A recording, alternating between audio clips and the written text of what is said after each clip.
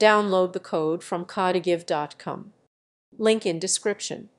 Creating an HTML file is a straightforward process that involves a few simple steps.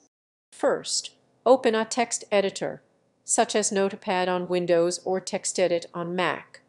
This will be the platform where you write your HTML content. Next, begin by defining the structure of your HTML document, which includes specifying the document type and adding essential tags like HTML, head, and body. In the head, you can include metadata such as the title of the webpage. The body section is where you will place the visible content, including text, images, and links. Once you have written your HTML, save the file with HTML extension, ensuring that you select all files in the Save dialog to prevent it from being saved as a text file.